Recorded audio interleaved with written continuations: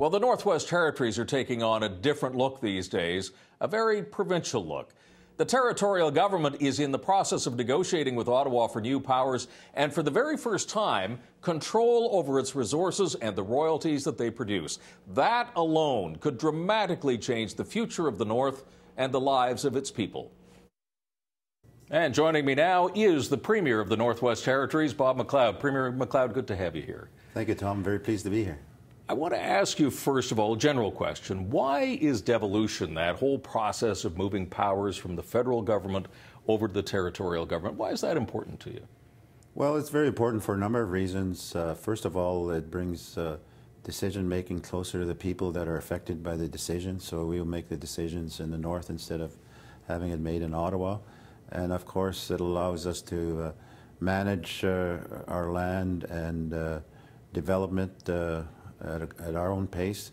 And also, we'll collect ro resource royalties. So the, the, development that occurs will not only uh, provide for jobs and employment, but also we will collect royalties that we can invest in uh, programs and services for the people in the Northwest Territories. And in the case of the Northwest Territories, what sort of money are we talking about? Well, based on uh, public accounts that have been published over the years, we're probably looking at uh, neighborhood of uh, $65 million that will grow as our gross expenditure base increases on an annual basis. And for a population of 41,000 people, $65 million ain't nothing, as they say. That's, That's right. And, considerable money.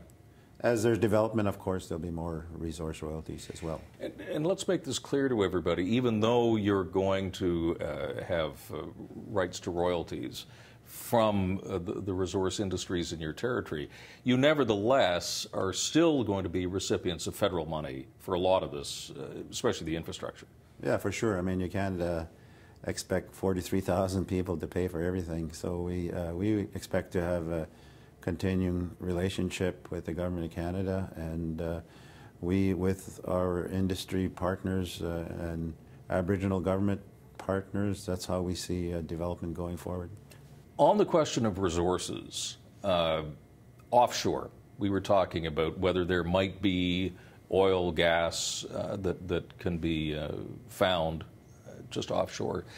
Uh, where does that stand with the feds? Because my understanding is the feds don't necessarily want to give you all the rights to the offshore resources. Well, uh, it's always been uh, the understanding right from day one that once the devolution negotiations are complete, that we have a final agreement, we have a transfer date that after a short period of time uh, that uh, we would start negotiations on the offshore with the, the government of Canada and other governments that are involved. So almost just like any other province, you're always in negotiations with, with the feds. Final question to you, Premier.